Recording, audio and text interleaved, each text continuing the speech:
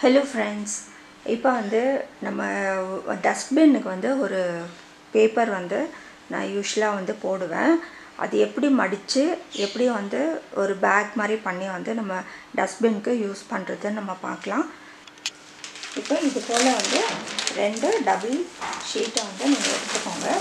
எடுத்துட்டு இந்த கார்னர் இந்த கார்னரை வந்து இது போல் ட்ரையாங்கிளாக வந்து மடிச்சுக்கோங்க.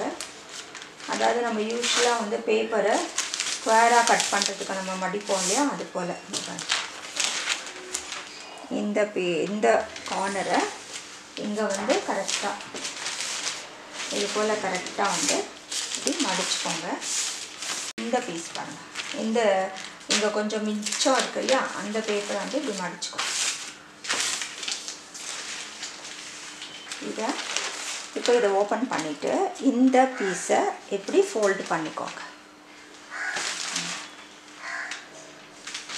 இந்த பீஸ் இந்த நம்ம மடித்த பேப்பரை இப்படி ஃபோல்ட் பண்ணிக்கோங்க. அதுக்கப்புறம் இந்த ஷீட் இருக்கு இல்லையா? இந்த நம்ம மடித்த மாதிரி ட்ரையாங்கிளாக அந்த ஷீட் எடுத்துகிட்டு போய் இதுக்கு ஈக்குவலாக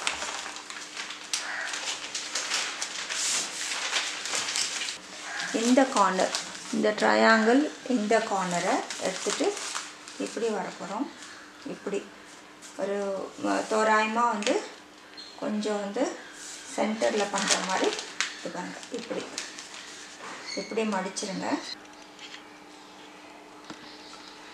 இப்போ பாருங்கள் இந்த ரெண்டு நம்ம ட்ரையாங்கிளாக பண்ணிவிட்டு இந்த ரெண்டை இது போல் இந்த சென்டர் வந்து இங்கே இருக்கணும். அதுக்கப்புறம் ஒரு ஷீ ஒரு டபுள் ஷீட்டு இதில் வந்து ரெண்டு இருக்குது இது ஒரு ஷீட்டு இது ஒரு ஷீட்டு இப்போ இந்த ஒரு பாதியை வந்து எடுத்து இது மடிச்சுக்கோங்க மடிச்சுட்டு இப்போ நமக்கு வந்து பாக்கெட் மாதிரி ஆயிடுச்சு.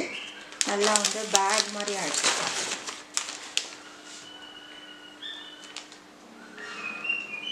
இப்போ இந்த இதை வந்து நம்ம டஸ்ட்பினில் போட போகிறோம் இப்போ வந்து இப்போ டஸ்ட்பினில் இப்படி போட்டுட்டோம்னா நீங்கள் வந்து ட்ரை ஐட்டம்ஸ் எல்லாம் வைக்கிறதுக்கு வெறும் இது மட்டும் யூஸ் பண்ணிக்கலாம். அப்படி சப்போஸ் வெட் ஐட்டம்ஸ்னால் யூஸ்வலாக வந்து நம்ம குப்பை தொட்டியில் வந்து வெட் ஐட்டம்ஸ் போடும்போது கொஞ்சம் ஸ்மெல் வரும். கொஞ்ச நேரம் விட்டுட்டிங்கன்னா பட் இப்படி பேப்பர் போட்டு வச்சிங்கன்னா அந்த பேப்பர் வந்து அந்த மாய்ச்சரெல்லாம் சக் பண்ணிடும். அதனால உங்களுக்கு அந்த ஈரம் வந்து இந்த ஸ்மெல்லெல்லாம் இருக்காது. நெக்ஸ்ட் டே நீங்கள் குப்பையில் போடுறது வரைக்கும் உங்களுக்கு ஸ்மெல் இருக்காது. பார்க்கலாம் எப்படி போடலான்னு கார்பேஜ் பேக் போட்டிருக்கோம்.